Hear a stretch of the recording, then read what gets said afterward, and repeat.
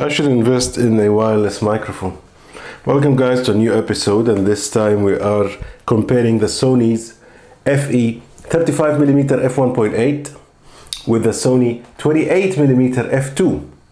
Now I'm not an expert when it comes to lenses but I do know a little bit about video and this is not my main channel. I've got a main channel and it's got 160,000 subscribers. So I do know a little bit about video and filmmaking. So today I'll be talking mainly about video. So at the moment I'm filming using the Sony FE 35mm f1.8 and this is what is filming me right now. And I'm using the Sony a7C and I'm using 30 FPS 4K and uh, this is the image quality that comes from straight from the lens. There is no editing, zero compensation there is no other. I'm using the aperture priority i'm using the f1.8 so i'm i had it wide open. Now if you remember the previous video when i was filming with the 35mm f1.8 now i've switched to the 28mm f2 and i don't know if you've noticed a little bit it's a little bit wider than the 35mm as you would expect. For those who are using micro four thirds system then obviously need to half that. So this is equivalent to a 14mm i don't know f3.5 f4 now let's do a little bit of a bokeh test. I'm gonna come a little bit closer to the camera and we're gonna look at this image right here and see is there any image separation? How does it look from the back? And i'm just gonna turn this thing on. Can i turn it on? I don't think I can. So let's say you're vlogging on YouTube, for example, and you've got a bit of a background behind you. this is how it's gonna look like. Obviously, I don't know, I'm looking at the LCD screen and there isn't much going on, even though it is on F2 but there is nothing much going on there. It's just everything is in focus. Let me come a little bit closer and see if that helps a little bit. Yeah, it does help a little bit. So you have to really be close to the camera. I mean, I'm nearly touching the lens now. It's almost like half an arm's length and this is what it looks like. Now I'm gonna switch to the 35mm f1.8 and see if that makes any difference. Now I've moved to the 35mm f1.8 and you can immediately see it's a little bit more blurry in the background and a little bit more pleasant if you like to separate yourself from whatever is going on behind you. I have a feeling that I'm too close now to the camera to the point that it's a little bit uncomfortable for you guys. So I'm gonna move a little bit back and see if that makes any difference. so I think this is a little bit better, but the only problem is if you're trying to vlog with the camera, in this 35 millimeter might just be a little bit too narrow or too uh, zoomed in. So this is where this 28 millimeter lens shines. It's it's made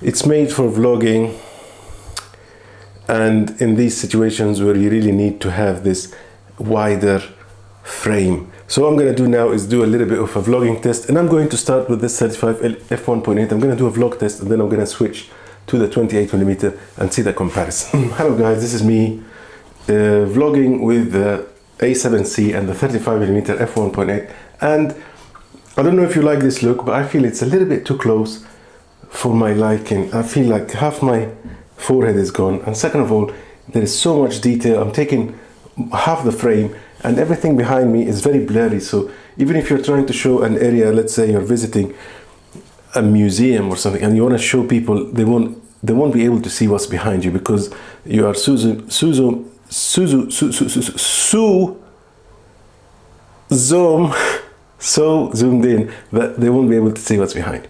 So what we need to do is flip onto our little mini tiny lens from Sony 28mm f2 and let's see if that makes any difference. Here is another test again. As you can see, there is nothing much to show here because I am taking all the frame and there is nothing that can be seen behind me. Now, would you, would you know what that is?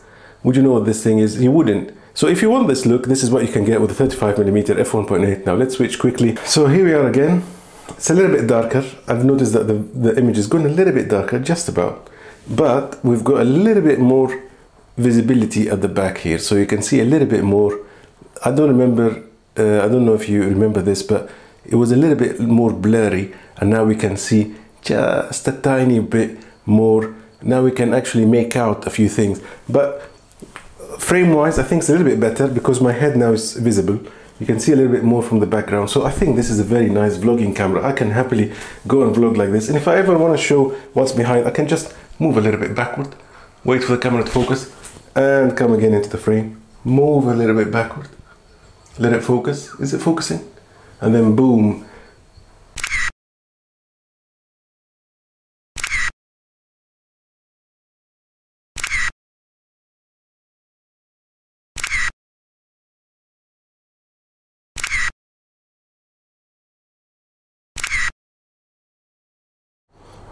So for a bit of video quality, here's uh, my garden.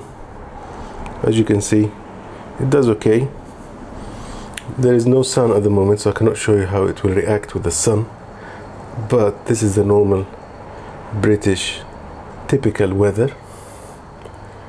It's quite wide, but it's not very wide. It's not the ultra wide stuff. It's just normal. Now let's have a look at the focus test. Hop, hop, very fast, very fast. I feel like this is perfect. It's very snappy. It holds onto place. It focuses very smoothly. There is no jittery. It's very nice. I really am in love with it. Boom. Here you go. Nice test, I think. this is the exact same video test with the 35 millimeter now and uh, you can see that it's a little bit tighter and it's a little bit more zoomed in. Actually it's taking longer to focus I feel. Yep definitely. It's lost focus altogether. Yep it's back now. But I feel like this is a little bit more pleasant I have a feeling. The other one is a little bit more wide. So this is just my opinion. Here's the test again. It's having problem focusing this lens so let's go back to the building back to the little door hinge building door. I feel it's a little bit slower to be honest than the other one. Perhaps it's because it's got a little bit more travel. And also it is struggling to focus. There's a lot of breathing here and it never actually nails the focus 100% what is going on here? Is it not able to spot it so yeah definitely the 28 is doing a much better job. Even though this one is doing a really good job. Maybe I'm too close to it. I'm gonna move back a little bit. Maybe now it's gonna do a little bit better. Oh yeah I think I was too close to the doorknob. Yep that's better.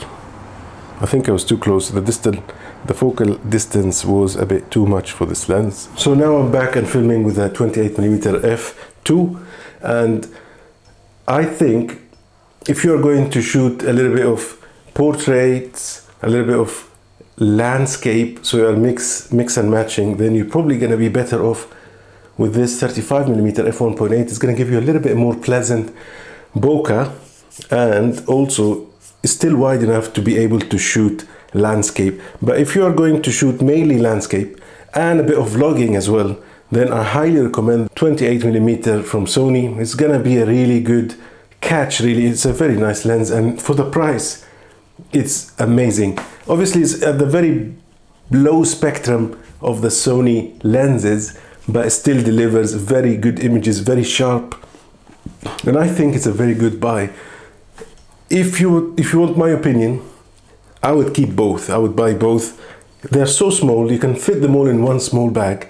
They won't gonna take any space and there's no even noticeable weight these two lenses together, the 35mm f1.8 and the 28mm f2, together they can be less than one of those really highly priced GM, G Master lenses. So these two together are probably less in weight and size than one of those really big GM lenses. So it's up to you, you make this decision. I'm going to keep the 28mm f2 and I'm going to use it for vlogging, I'm going to use it for nature photography and I can still use it for, for like photographs, photographing people, but it's not going to be my main primary portrait lens what I'm going to do is I'm going to buy a 85mm f1.8 from Sony and I'm gonna keep that as my main portrait lens or even the 50mm which is selling so cheap now it's about 150 pounds British pounds you can buy the 50mm f1.8 or the 85mm f1.8 have those for portraits and keep this 28mm for your normal everyday walkabout or even street photography. You can do anything with it. This 28 millimeter has, in my opinion, made the 35 millimeter a little bit obsolete, to be honest, because I find this to be a bit more versatile. even though it does have a higher f point, it's an f2 compared to the f1.8, but in my opinion, you can still use this for vlogging, landscape, street photography, travel lens, everyday lens. The other one, the 35 millimeter, it is a little bit more crispy, a little bit better with the bokeh, a little bit better image separation, but still you cannot use it for vlogging. And if if you are going to use it for portraits, still it's not the best lens for portraits. So this 28 made this 35 a bit of an obsolete lens. This is my opinion. I hope you like this video. If you do like it, please let me know in the comments what you think and what else would you like me to record for you. What I'm gonna do now is my next step is to obviously buy the 85mm f1.8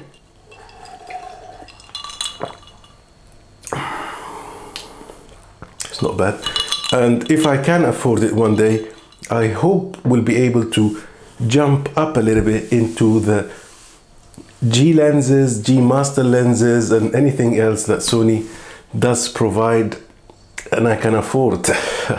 so please like this video, share it, do whatever you like to it so I can benefit from that and I can update my gear and upgrade them. And hopefully one day I'll be able to afford the Sony A1. Who knows? Maybe one day. You never know. Thank you very much guys and I'll see you in the next episode. Peace.